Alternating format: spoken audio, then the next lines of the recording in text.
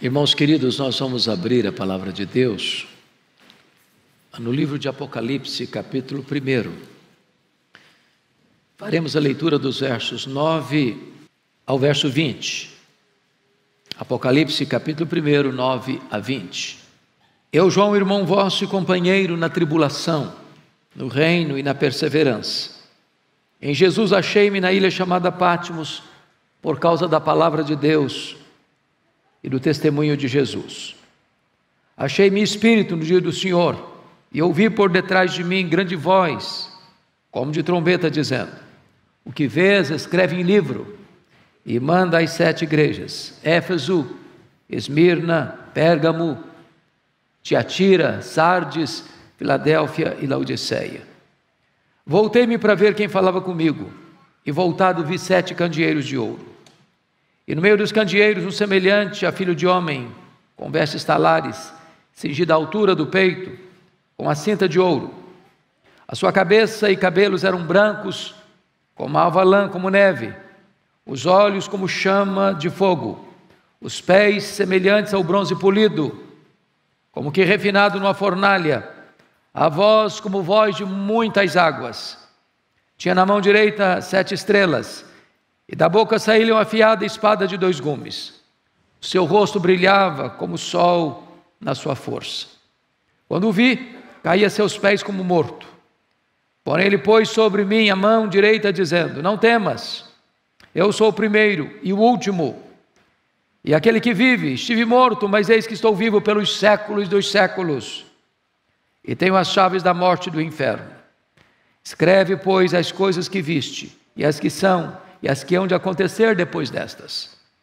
Quanto ao mistério das sete estrelas que viste na minha mão direita, e aos sete candeeiros de ouro, as sete estrelas são os anjos das sete igrejas, e os sete candeeiros são as sete igrejas. Amém.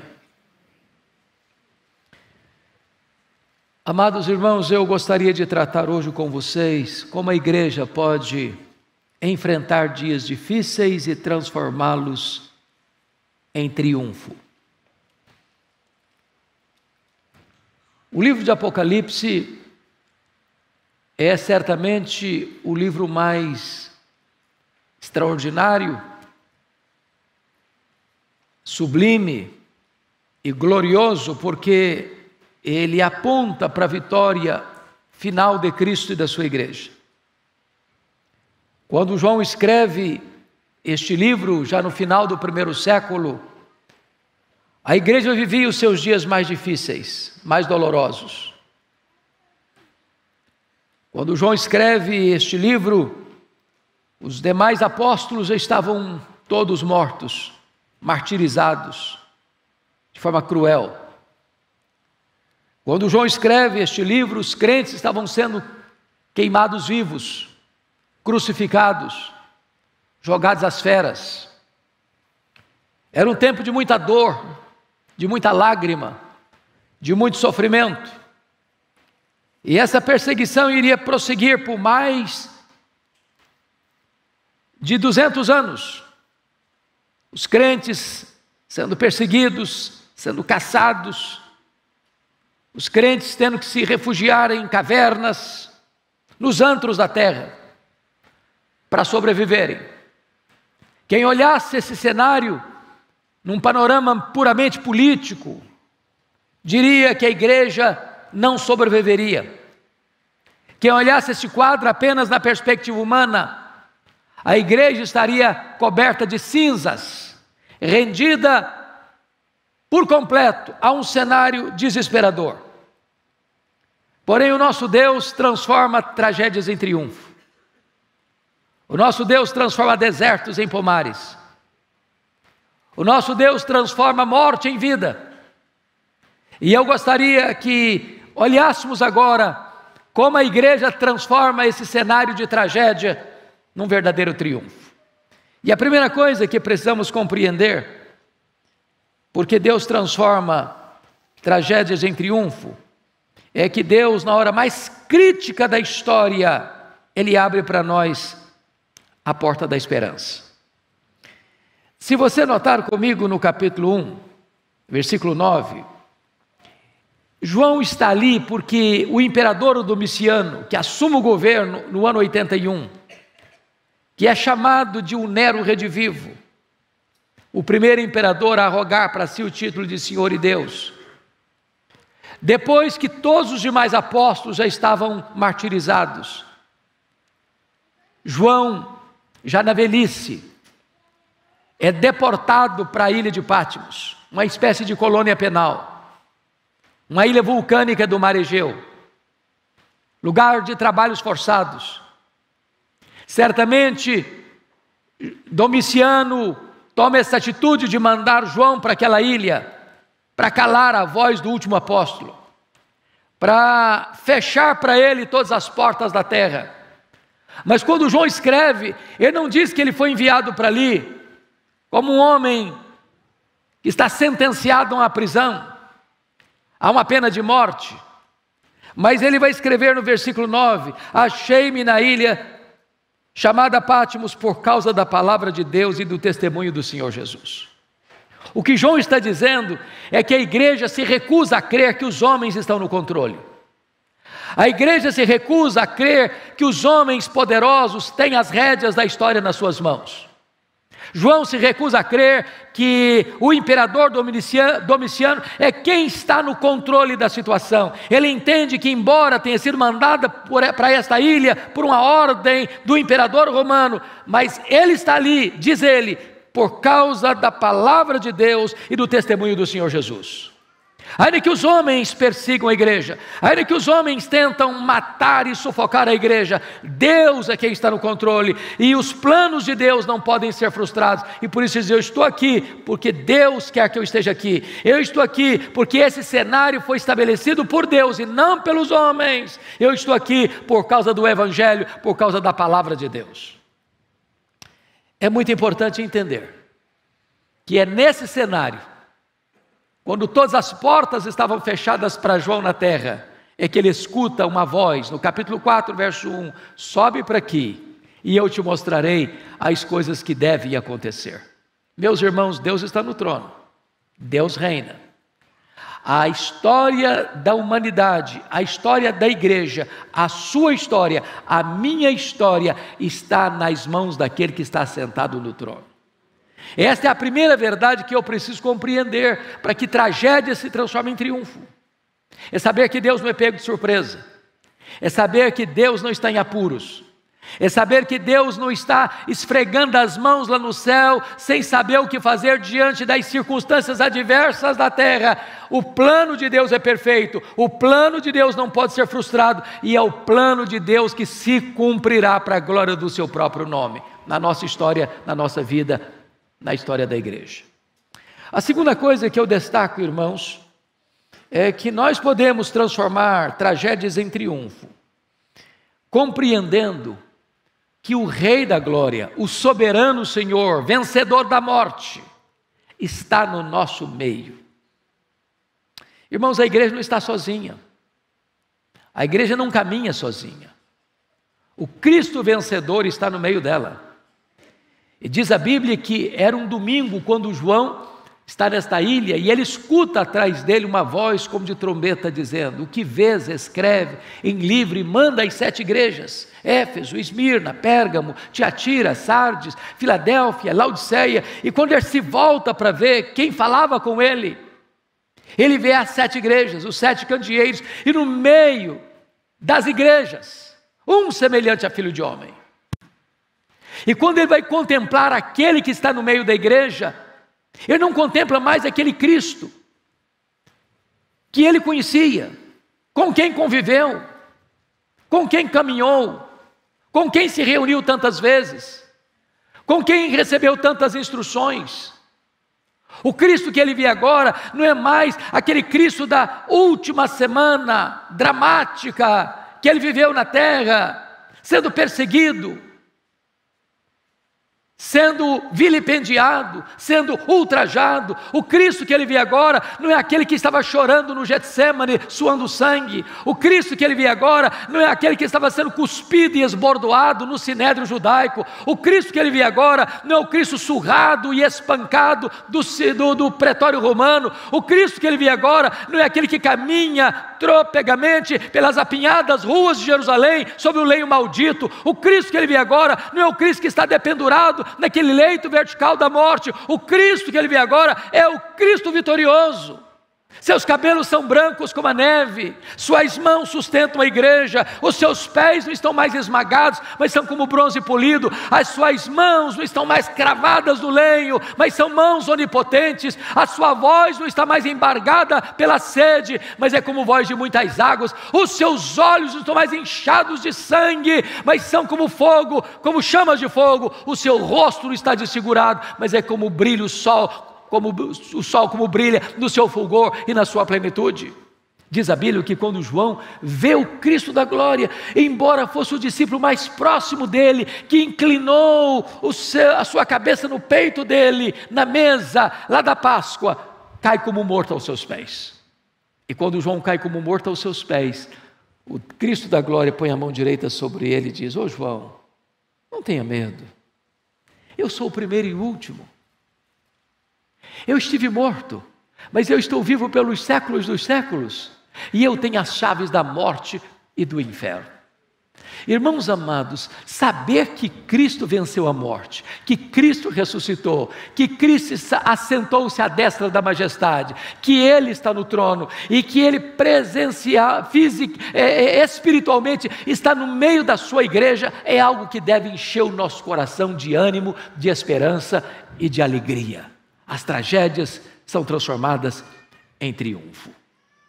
Mas notem vocês, em terceiro lugar, que a igreja pode transformar tragédia em triunfo quando ela compreende que o Cristo que está entre nós, e está escrito no versículo 13, e no meio dos candeeiros eu vi um semelhante a filho do homem.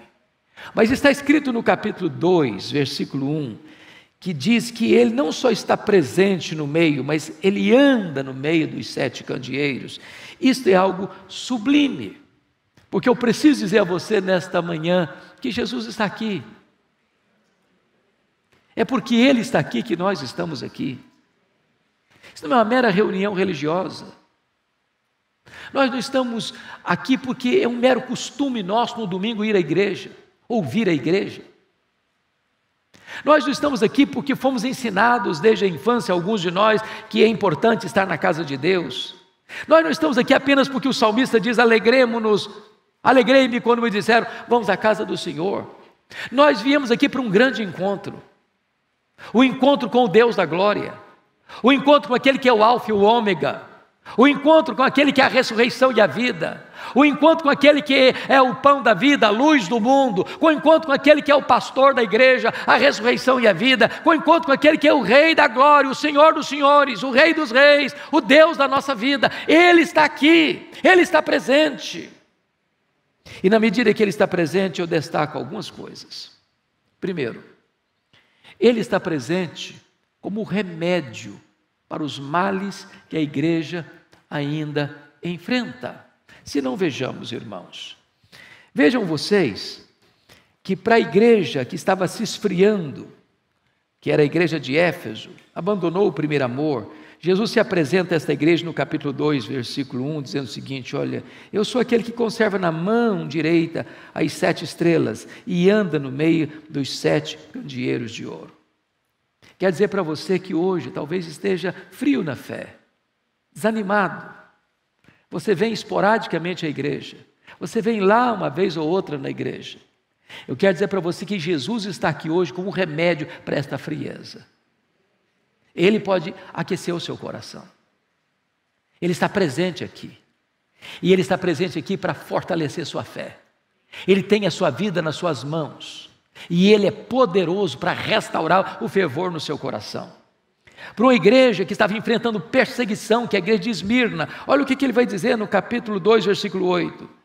Estas coisas diz o primeiro e o último, eu estive morto, mas é, é, aquele que esteve morto, mas tornou a viver. Sabe o que ele está dizendo para uma igreja que está enfrentando um martírio? A igreja que está sofrendo a morte, está dizendo, não precisa temer não, porque eu, eu sou aquele que esteve morto e tornou a viver, ou seja, a morte não me vence, a morte foi vencida por mim, e se você crê em mim, eu sou a ressurreição e a vida, você não precisa ter medo do sofrimento, você não precisa ter medo da morte, porque eu venci a morte, e eu sou a ressurreição e a vida. Talvez você esteja com medo de morrer, com medo de ficar doente, com medo de ser infectado, com medo de ir para o hospital, com medo de ser entubado, com medo de enfrentar a eternidade, pois Jesus está aqui dizendo: você não precisa ter medo, porque eu já venci a morte. Mas olha para mim, olha por favor para uma igreja que estava enfrentando, irmãos, o drama da heresia, que é a igreja de Pérgamo. O que, é que ele vai dizer para essa igreja? Olha o versículo 12. Ao anjo da igreja em Pérgamo escreve: Essas coisas diz aquele que tem a espada afiada de dois gumes. Preste atenção nisso. É a espada que dá vida e a espada que condena. É a espada que é, traz salvação para o arrependido e a espada que traz juízo e condenação para aquele que não se arrepende. Talvez você que esteja aqui hoje num dado momento da sua vida você se envolveu com novas doutrinas, com doutrinas estranhas, com heresias perniciosas, com ah, práticas religiosas que desagradavam a Deus, pois Jesus está aqui hoje, como aquele que tem a espada de dois gumes, para que você se arrependa, para que você se volte para Deus. E ao se voltar para Deus, você receba dele perdão, redenção e vida eterna. Para a igreja de Tiatira, que era uma igreja que estava se rendendo à imoralidade, seguindo a doutrina de Jezabel, levando o povo a uma vida imoral, de prostituição, de impureza, de lascívia. Olha como Jesus se apresenta como remédio a esta igreja, por gentileza. Veja aí, capítulo 2, versículo 18. Estas coisas diz o Filho de Deus, que tem os olhos como chama de fogo e os pés semelhantes a bronze polido. Sabe o que ele está dizendo? Aquilo que você faz escondido, aquilo que você faz com a luz apagada, aquilo que você faz com a porta fechada, aquilo que você faz longe dos holofotes para ninguém ver, pois Jesus está aqui como aquele que tem os olhos como chamas de fogo, ele tudo vê, ele tudo sabe, ele a todo sonda, e ele, aquele para quem não se arrepende, tem os pés de bronze polido para o juízo, para esmagar aqueles que não se se arrependem e não creem. Ele é a solução. É hora de você abandonar o pecado, é hora de você abandonar a impureza, é hora de você abandonar aquelas práticas que você tem e que tantas vezes você guarda no secreto do seu coração, pois Jesus está aqui como aquele que está dizendo: Eu conheço, eu vejo, eu sei, e se arrependa para que você não enfrente o juízo que virá. Mas para uma igreja que tinha presunção de ser uma igreja avivada. Tem nome que vive, a igreja de Sardes. Olha como Jesus se apresenta a essa igreja. Capítulo 3, versículo 1, ele diz assim: Estas coisas diz aquele que tem os sete Espíritos de Deus e as sete estrelas. Sabe o que está dizendo? Que tem os sete Espíritos de Deus, ele tem a plenitude do Espírito Santo para uma igreja que está apática, para uma igreja que está apenas viva nominalmente, mas morta espiritualmente, Jesus está dizendo o seguinte: eu tenho sete espíritos, eu posso reavivar essa igreja, eu posso trazer vida para essa igreja, eu posso dar alento para essa igreja, eu posso tirar você apenas da nomenclatura de vida espiritual e dar para você uma vida abundante e plena, porque eu sou a própria vida. Para uma igreja que enfrentava a fraqueza, a igreja de Filadélfia eu conheço as tuas obras, tu tens pouca força. Olha como Jesus se apresenta como remédio para esta igreja. No capítulo 3, versículo 7, ele diz assim: Ao anjo da igreja em Laodiceia escreve: Estas coisas diz o santo, o verdadeiro, aquele que tem a chave de Davi, que abre e ninguém fecha, que fecha e ninguém abre. Deixa eu lhe dizer, talvez você sinta um crente fraco.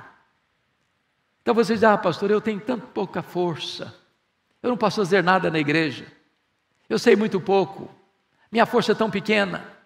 Eu sou tão frágilzinho.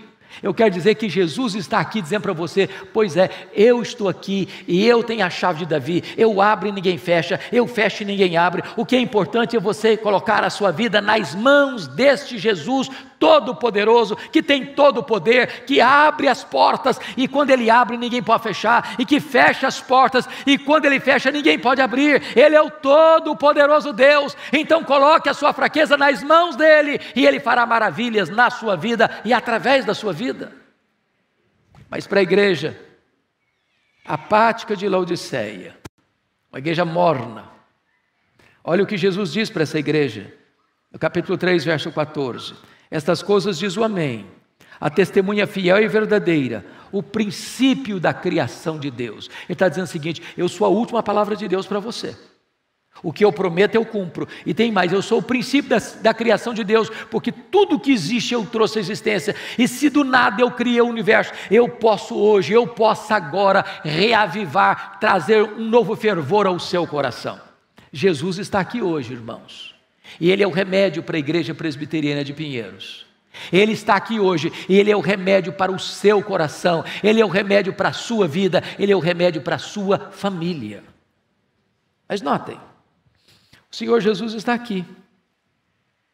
E ele vai dizer, ao andar no meio das igrejas, investigar as igrejas, que ele conhece a igreja. Eu não conheço você. Você não conhece a mim. Eu não me conheço. Até o conhecimento que eu tenho de mim mesmo é um conhecimento parcial. Porém, Jesus está aqui e ele conhece. Para cinco igrejas, ele disse: Eu conheço as tuas obras. Para a igreja de Éfeso, de Tiatira, de Sardes, de Filadélfia e de Laodiceia.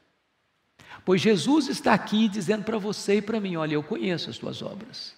O que você fez, ninguém ficou sabendo. Eu conheço.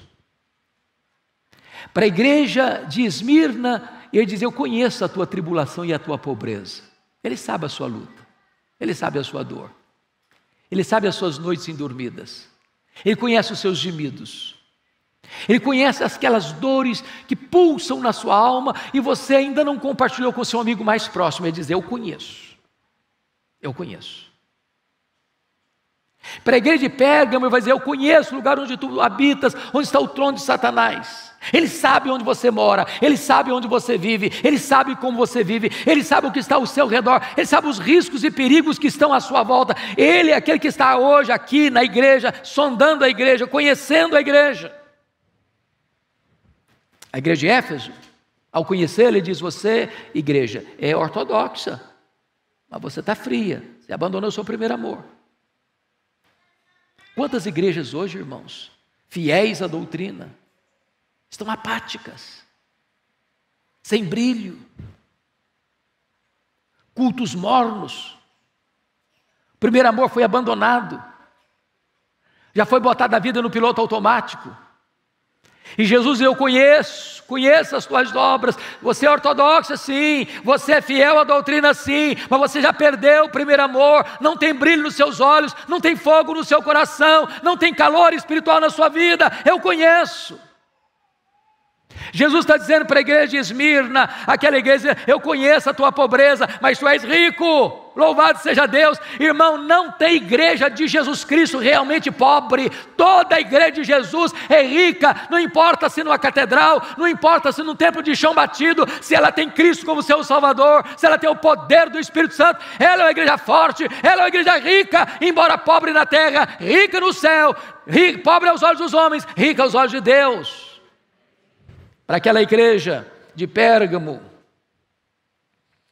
Tinha gente ali, irmãos, que estava ah, morrendo pela sua fé, mas tinha gente ali flertando com as doutrinas de Balaão. Oh, meu Deus, quantas vezes na mesma igreja, nesta mesma congregação, Igreja Presbiteriana de Pinheiros, tanta gente de Deus, tanta gente cheia do Espírito Santo, tanta gente disposta a fazer a obra de Deus, tanta gente pronta para levar o reino de Deus avante, mas também tem muita gente que pode estar, como naquela igreja de Pérgamo, capengando na fé, apenas tem um nome lá no hall da igreja, apenas foi recebida aqui na frente como membro da igreja, mas nunca se envolveu com as coisas de Deus, nunca teve o coração apaixonado pelo reino de Deus, nunca esteve pronto e disposto a fazer a obra de Deus. Jesus está olhando para a igreja e ele tem exortações a fazer, porque ele conhece, por exemplo, a igreja de Sardes. Ô oh, Sardes, você tem um nome que vive, uma igreja avivada. Mas Jesus que não se deixa enganar pelos cacuetes, pelos jargões. Ô oh, irmãos, quantos jargões hoje. Eu tenho rodado por esse Brasil afora e, curiosamente, eu tenho pregado em algumas igrejas ultraconservadoras. Sabe o que é uma igreja ultraconservadora? Se uma mosca voar na hora do culto, você escuta.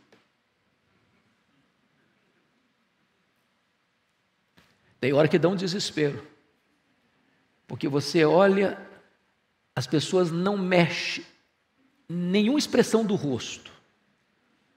Você não sabe se ela está ouvindo, se ela não está ouvindo, se ela está gostando, se ela está odiando, se ela está recebendo, se ela está rejeitando. Ela não esboça nenhuma reação. Tem hora que parece que você está falando para a parede. Mas eu tenho pregado também em igrejas ultrapentecostais com muito barulho. E vocês, calma, calma, por favor, menos, calma. Sabe o que eu tenho aprendido, irmãos? Muitas vezes esse fervor não tem nada a ver com estilo de culto. Os crentes aprenderam cacuetes, jargões. Tem crente que vai orar, dá uma tremida na voz para parecer mais espiritual. Tem gente que engata um glória a Deus, aleluia, totalmente no piloto automático.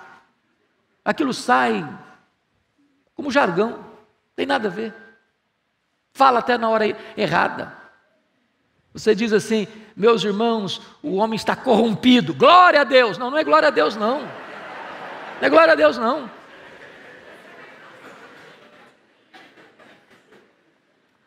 E o Senhor conhece aqueles que estão prontos a morrer pela sua fé. E o Senhor conhece também aqueles que, nesse mesmo ambiente, nessa mesma congregação, estão aí é, flertando com coisas erradas, com doutrinas erradas. O Senhor olha para a igreja de Laodiceia, aquela igreja que diz: Não, eu sou rica, eu sou abastada, eu sou a melhor igreja, aqui não tem problema doutrinário, aqui não tem problema moral, aqui não tem pobreza, aqui não tem briga, aqui está todo mundo em paz, essa igreja é maravilhosa, nós gozamos de uma tranquilidade tranquila mesmo, e nós vivemos aqui sob os auspícios dessa sociedade que nos apoia, porque somos uma igreja maravilhosa, e Jesus olha para essa mesma igreja, tão ah, cheia de si mesma, e diz: Olha, pois eu, eu, eu estou a ponto de vomitar-te da minha boca. Quem dera tu fosses fria, quem dera tu fosses quente, porque tu és morna, estou a ponto de vomitar-te da minha boca. Jesus está aqui olhando para a igreja. E quando eu falo para a igreja, entenda você, eu, nós. Mas amados, me permita dizer que Jesus está no meio da igreja para oferecer para ela a saída, a solução. Veja comigo. O que Jesus disse para a igreja de Éfeso, versículos 5 e 6, ele diz assim, capítulo 2: Lembra-te, pois, de onde caíste, arrepende-te e volta à prática das primeiras obras. Para um pouquinho. Onde você errou? Quando você errou? O que, que você fez? Onde começou esse desvio? Volta, volta. Talvez, irmão, você foi criado no Evangelho, foi criado na igreja. Você se desviou. Está na hora de voltar. Está na hora de voltar. Olha o remédio que Jesus oferece, a oportunidade que Jesus oferece para a igreja de Esmirna, uma igreja massacrada, martirizada, enfrentando tantas lutas. Versículo 10, ele diz: Não temos as coisas que tens de sofrer. E lá no finalzinho ele diz: Ser fiel até a morte e dar-te a coroa da vida. Talvez você está passando por tribulação, irmão. Está passando por prova, por vale, por dor, por perseguição. E Jesus está aqui dizendo para você, meu filho, ser fiel até a morte e dar-te a coroa da vida. Mantenha-se firme. Se preciso for, morra pela sua fé. Mas não perca a bênção de ser aprovado por Jesus e receber dele a coroa da vida. Olha o que Jesus oferece igreja de Pérgamo. Versículo 16. Jesus diz assim: portanto, arrepende-te, e se não venho a ti sem demora, e contra eles pelejarei com a espada da minha boca. Para uma igreja que estava flertando com as doutrinas erradas, Jesus está dizendo o seguinte: arrepende-te, arrepende-te. Irmãos, doutrina errada é pecado. Seguir doutrina errada é pecado. Jesus está dizendo: arrepende-te, volta para a palavra, volta para a Escritura. Para a igreja de Tiatira, uma igreja que estava rendida a coisas de moralidade por causa de influência perniciosa de Jezabel. Olha o que Jesus vai dizer nos versos 24 e 25. Digo, todavia, a vós outros, os demais de Tiatira, a tantos quantos não têm essa doutrina e que não a conheceram, como eles dizem, as coisas profundas de Satanás, outra carga não jogarei sobre vós, tão somente conservai o que tendes, até que eu venha. Está aqui, está dizendo? Fique firme. Firme. Tem novidades surgindo todo dia, toda hora no mercado da fé, irmãos. É triste ver isso, igrejas outrora sólidas se rendendo ao liberalismo, se rendendo ao inclusivismo, igrejas inclusivas hoje, sabe o que significa isso hoje? Igreja, não, pode vender o que você quiser. Aqui vale tudo, aqui você aceita tudo. Aqui você não precisa mudar de vida para ser membro, não. Aqui quem vive no roubo, continua no roubo. Quem vive na prática da imoralidade, continua na prática da imoralidade. Quem vive na prática da homossexualidade, continua nessa prática. Quem vive de adultério, vive nessa prática também, não tem problema. Qualquer coisa vale. Aqui aceita tudo. Não, não, não. A igreja de Deus aceita todos, mas não aceita tudo. Na Nova Jerusalém tem porta aberta para o norte, para o sul, para o leste, para o oeste, mas nada contaminado entrará lá. A igreja é santa, a igreja é pura, a igreja é a noiva do Cordeiro, a noiva imaculada do Cordeiro imaculado. Mas mais, amados, a igreja de Filadélfia, uma igreja fraca, olha o que Jesus diz para ela. 3,11, por favor, olha aí. Veio sem demora. Conserva o que tens para que ninguém tome a tua coroa. Conserva o que tens. Fique firme, persevere. Persevere, irmão. Está passando luta hoje? Tem fraqueza hoje? Persevere, persevere.